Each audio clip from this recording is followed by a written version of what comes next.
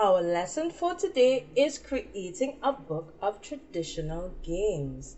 Now, that simply means that we are taking the information that we found out by asking our parents and grandparents what games they used to play and creating a book. Our first game is hopscotch. Take a look at the hopscotch in my book of games.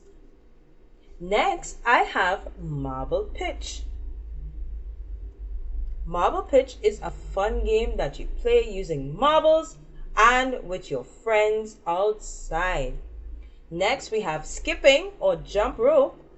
This is a really fun game and it never gets old. Do you like skipping? Next, this game is called Maypole. It's a fun game where you play with your friends and while you dance around each other, you make a beautiful pattern with the ribbons as they come down. Next is Jacks. Jacks is a game where you bounce the ball and you try and pick up as many jacks as you can. The person with the most jacks wins. Isn't our games fun? If you have different games, you can add it to your book. Have fun with this activity, friends.